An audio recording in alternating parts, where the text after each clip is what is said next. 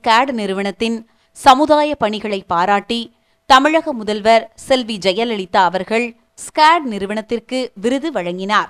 தமிழக முதல்வர் வழங்கிய விருது சமுதாய பணிகளில் மேலும் முழு மூச்சாக ஈடுபட ஊக்கமளிப்பதாக அமைந்துள்ளதாக ஸ்கேட் நிறுவன தலைவர் கிளிட்டஸ் பாபு தெரிவித்தார். சமூக சேவை மற்றும் மாற்றுத்திறனாளிகளுக்கு சேவை செய்து வரும் ஸ்கேட் நிறுவனத்திற்கு முதல்வர் விருது வழங்கப்பட்டுள்ளது. இந்த விருதை சென்னையில் நடந்த சுதந்திர தின விழாவில் முதல்வர் ஜெயலலிதா ஸ்கேட் நிறுவன தலைவர் கிளிட்டஸ் பாபுக்கு வழங்கினார்.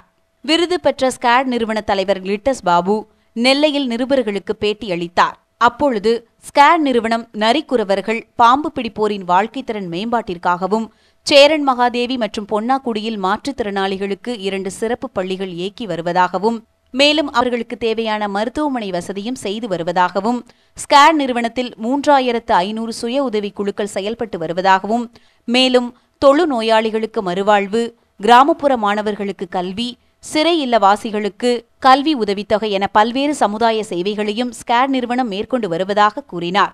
இந்த சேவையை பாராட்டி தமிழக அரசு விருது வழங்கியுள்ளது.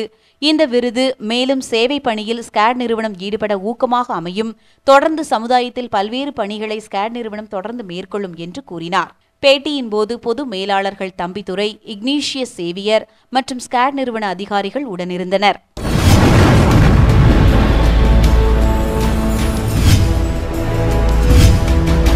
நீங்கள் பார்த்து கொண்டிருப்பது உங்கள் கதிர் டிவி.